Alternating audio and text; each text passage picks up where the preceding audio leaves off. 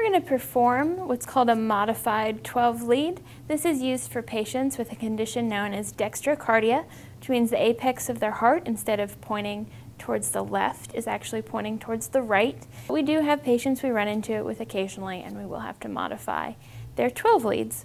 So all we do, you have two routes you can go. Some practitioners will take V4 and move it over here to examine either a right-sided MI or get a different look. We're going to take V4 and place it in the same place on the right side. It's going to be your midclavicular line, fifth intercostal space, just on the right side.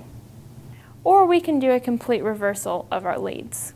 V1 is going to go on the fourth intercostal space of the left sternal border.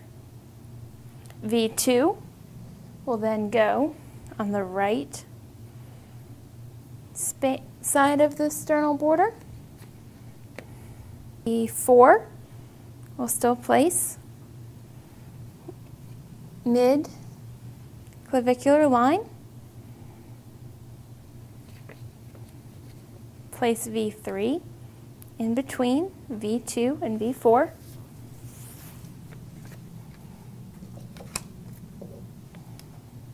And then place V5, fifth intercostal space, anterior axillary.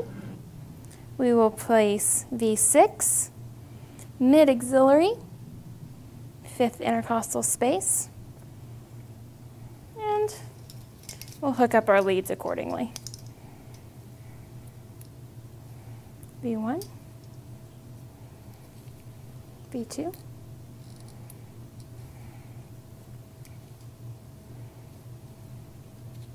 V3,